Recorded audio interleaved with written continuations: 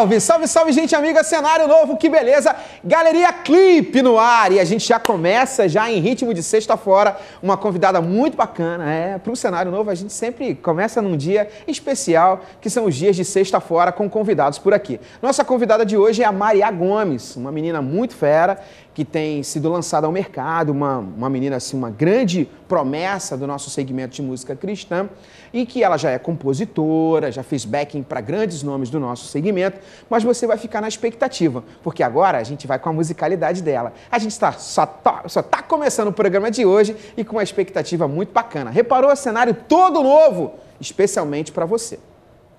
E a gente começa, a gente começa com a musicalidade da Maria Gomes com a canção Asas.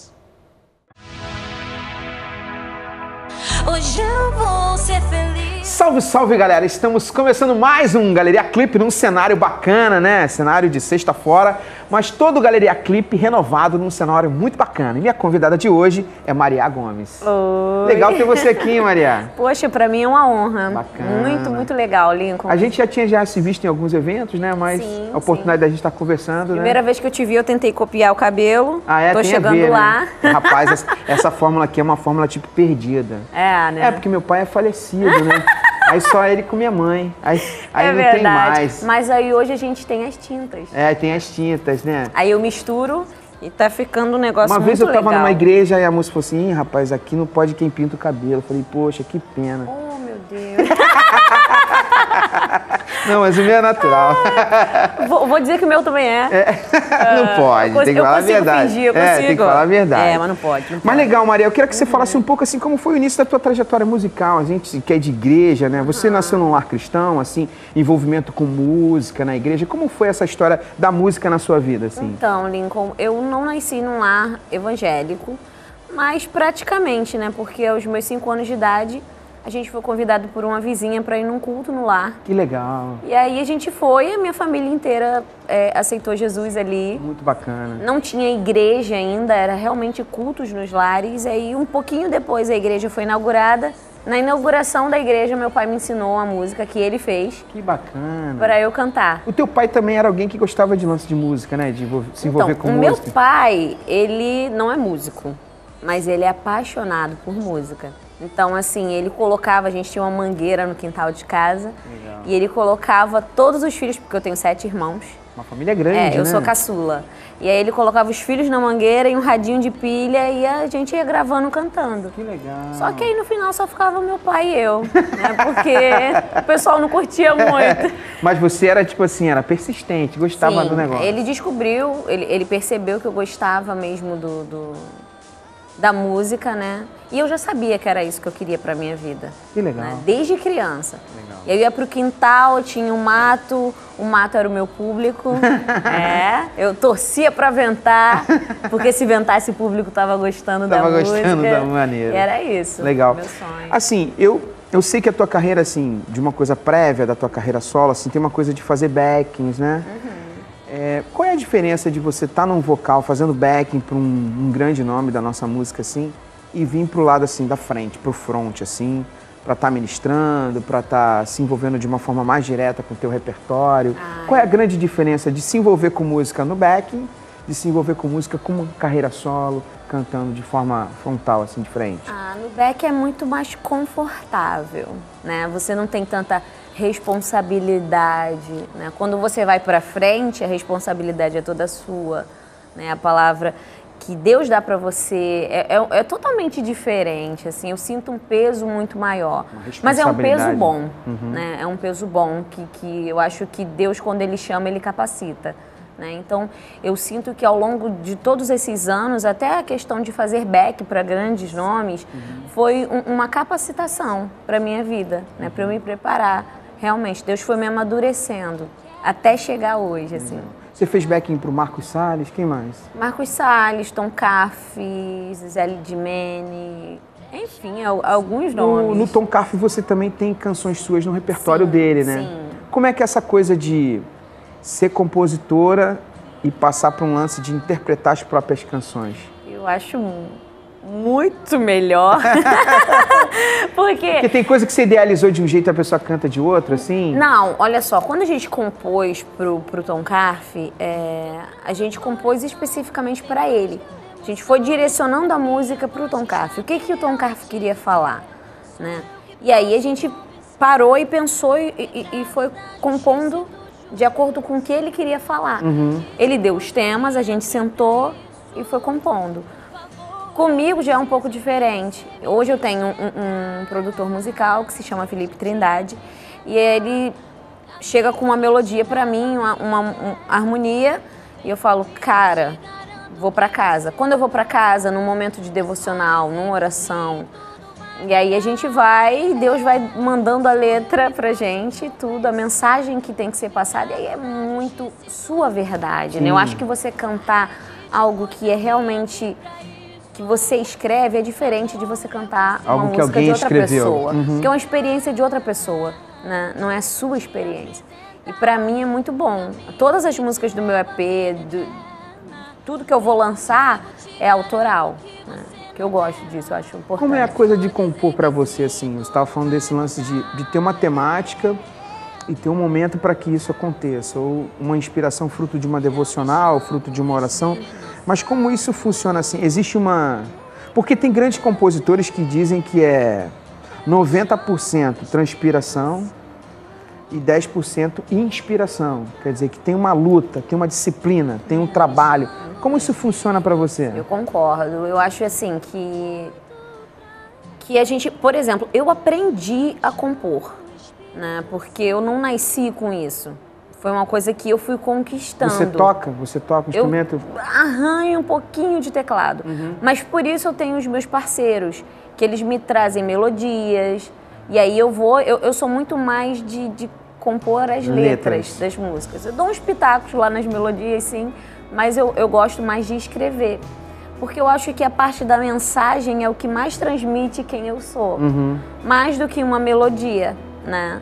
Ah, do que os acordes. Eu acho que isso aí é, é questão mais de, de, do que eu escolhi como estilo musical. Sim. Né? Uhum. E como eu escolhi worship, então, assim, a gente vai compondo nessa linha melódica, mas aí a mensagem é o Gostei Espírito do Santo worship. Vai... Worship. É, worship, é. Worship é adoração, né? É. adoração. Worship. É verdade. Worship tem uma característica de ser pop rock, assim, para você, na tua cabeça? Quando você falou worship, eu lembrei de pop rock. É, tem um pouco. Tem um pouco, mas é bem aquela Porque coisa... Porque pro gringo, worship é. é pop rock. É. Pro americano, worship é pop rock. É aquela coisa congregacional, né? Uhum. De Hillsong, Bethel, assim, uhum. são as minhas referências musicais, né?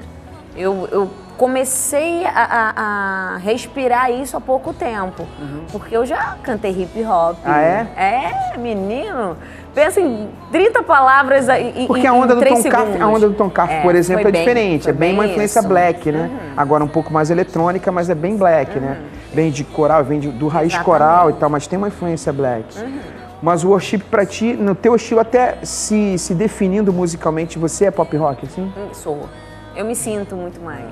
É. Essa influência no Brasil, assim, é, ela é bem característica, né? O Brasil, ele tem uma característica da musicalidade worship americana, né? É, verdade. Mas assim, eu acho, eu, eu gosto desse estilo porque ele me dá é, possibilidade de mostrar mais a mensagem da música. Eu não tenho nada contra os outros estilos, pelo contrário. Eu sempre amei, eu amo, eu escuto muito os cantores black, sou fã do Tom Carr, fã incondicional, né?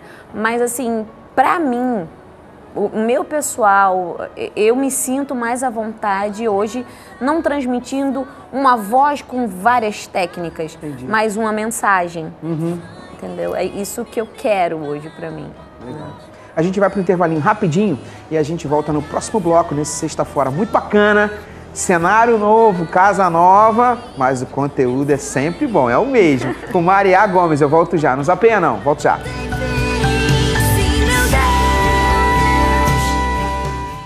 Descobri que sabia andar e decidi. Legal, estamos de volta com Sexta Fora muito bacana. Nossa convidada de hoje é a Maria Gomes. Maria, me fala o seguinte: a gente teve aí o teu lançamento de um EP, né? Uhum. A gente toca por aqui a canção Asas Como foi a, a elaboração desse repertório, desse teu lançamento? Como foi a, a estruturação, né? a construção disso que virou um EP, destas canções, e a tua expectativa em relação ao lançamento desse EP? É, assim, na verdade, todas as canções, elas vêm como momentos que eu passei. Então, assim, eu, eu me sinto muito dentro desse EP, né? Porque é a minha história, é a minha verdade. Eu passei por uma fase onde eu queria música secular, né? Mas Deus foi me trazendo de volta, porque Ele me mostrou que não era isso que Ele queria para mim. Eu aprendi de uma forma um pouquinho dolorosa, né? Mas Deus tem os seus meios de, de, de mostrar pra gente, de ensinar pra gente. Mas assim, hoje a gente fez com muito carinho todas as músicas. Eu acho que elas vieram realmente de Deus. Né? Tem uma música que é muito antiga, mas que ela ficou guardadinha. Eu sabia que um dia eu ia usar. Maneiro. Né? Eu tinha 19 anos, acho que tem. Eu não vou falar quantos anos tem, porque senão eu vou dizer que eu sou velha. Mas eu, eu a escrevi quando eu tinha 19 anos com um amigo chamado Rafa Brito, que também é um grande compositor. E assim, guardei essa música e hoje estou usando no EP. Ela já foi até lançada, um voz e violão, o nome dessa música é O Sopro.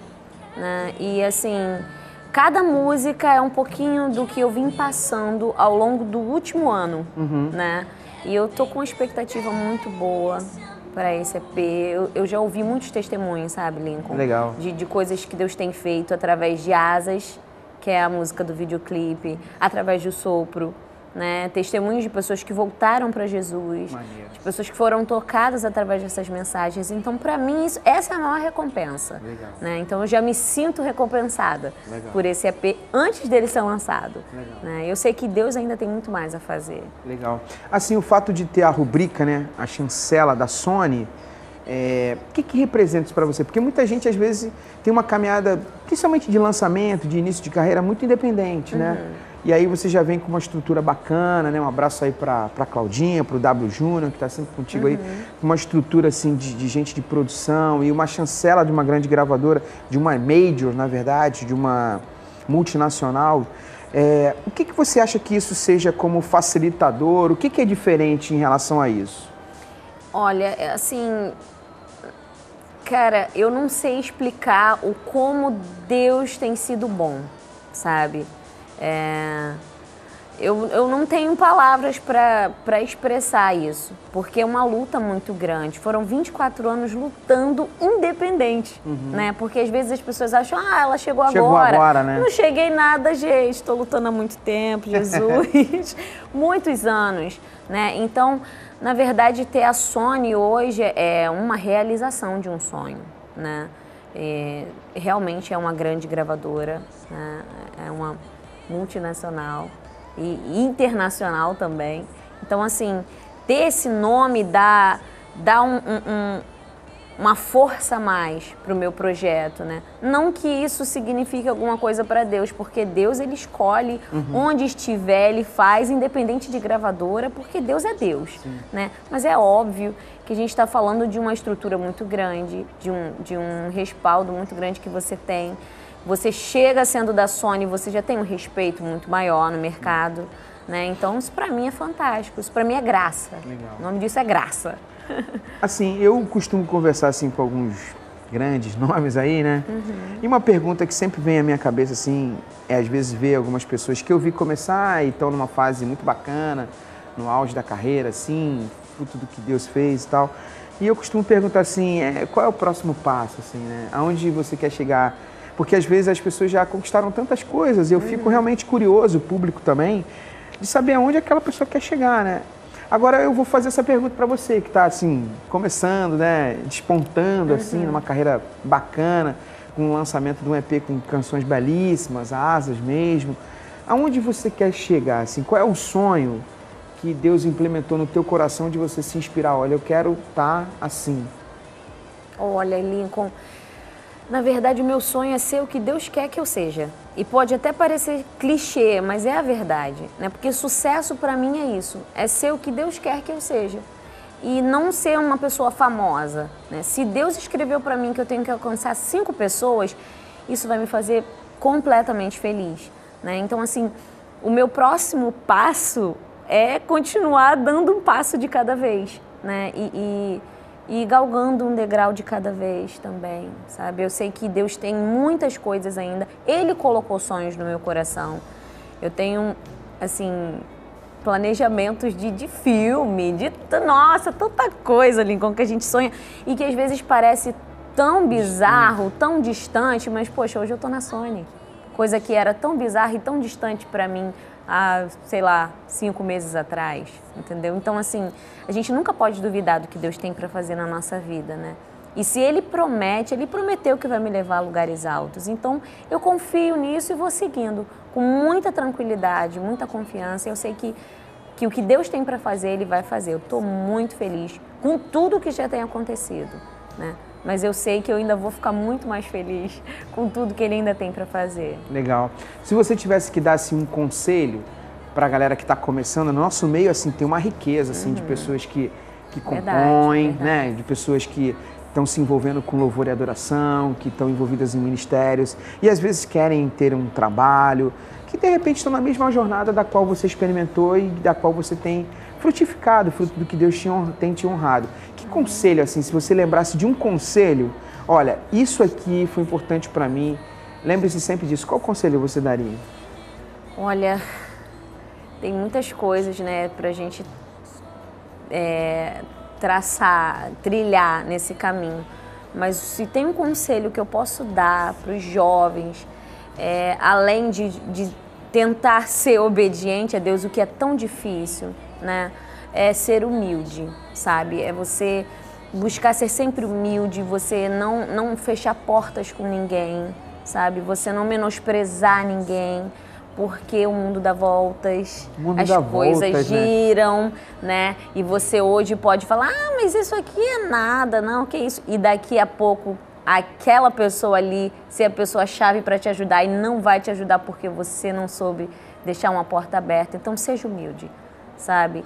Aprenda a, se você tem que ser um back de alguém, vá lá e seja. Isso não é de Mérito, forma né? ne nenhuma um desmérito. Pelo contrário, isso faz parte da, da né? nossa construção, da nossa carreira. Né? Então, assim, eu tenho muito orgulho em ter sido back pro, pro Marcos Salles. Poxa, isso para mim é fantástico, pastor Marcos Salles, gente. Isso é lindo. Hoje eu estou tendo a oportunidade de fazer o meu projeto, né? Que para mim também é uma honra muito grande, mas seja humilde, sabe? Saiba que cada um tem o seu momento, né? E assim, aprenda a agarrar todas as oportunidades que Deus te der. Eu aprendi com o pai de um grande cantor e ele falou assim para mim, Maria, é, não fique correndo atrás de portas, mas todas que Deus abrir para você, entra. E vai com vontade. Maneiro.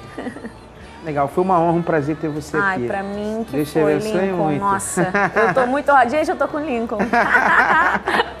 Legal, a gente volta pro estúdio com mais musicalidade dessa menina. Espero que você tenha gostado. Escreva pra gente, participe, se envolva com a nossa programação. Super valeu e tchau, tchau. Tchau, tchau. Legal, obrigado pela sua companhia. Um super beijo para Maria. Esse bate-papo foi muito legal. Deus te abençoe muito. Um beijo aí pro W Júnior, pra Claudinha, a galera que trabalha com a Maria, a galera da Sony também. Com essa autorização da Maria tá por aqui e a gente fica muito feliz. Espero que você tenha gostado. Saiba sempre que Deus é bom e a sua misericórdia, ó, dura para sempre.